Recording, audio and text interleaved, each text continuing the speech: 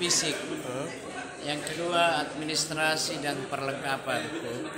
Yang ketiga ya bagaimana konsolidasi koordinasi dengan terkait untuk pergantian tahun baru kan rencana di mana tahun barunya?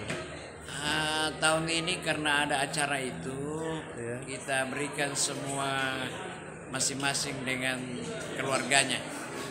Artinya bebas, tidak ada acara khusus. Nanti setelah Kalau Pak Bupati sendiri kan sama di Makassar kan atau di mana? mungkin di Makassar karena ada beberapa jalan yang harus ditutup oleh perhubungan kelancaran lalu lintas. Berarti di Makassar sama keluarga kan? Iya, insya Allah.